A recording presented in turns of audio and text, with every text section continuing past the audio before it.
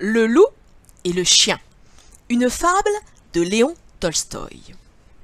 Un loup, fort maigre, qui tournait autour du village, rencontra un chien beau et gras.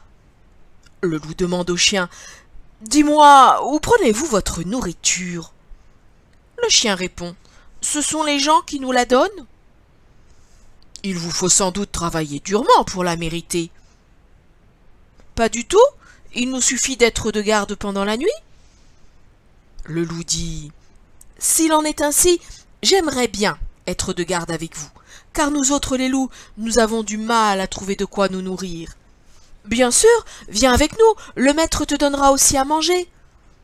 Le loup se réjouissait déjà de pouvoir vivre comme les chiens et de servir les hommes. Mais au moment où il allait entrer dans la cour, il aperçut le coupelé du chien. Il lui demanda Qu'as-tu là? Rien?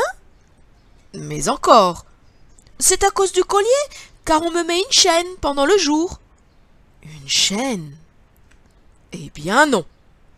Je n'irai pas servir chez les gens. Je préfère rester maigre et affamé plutôt que de perdre ma liberté.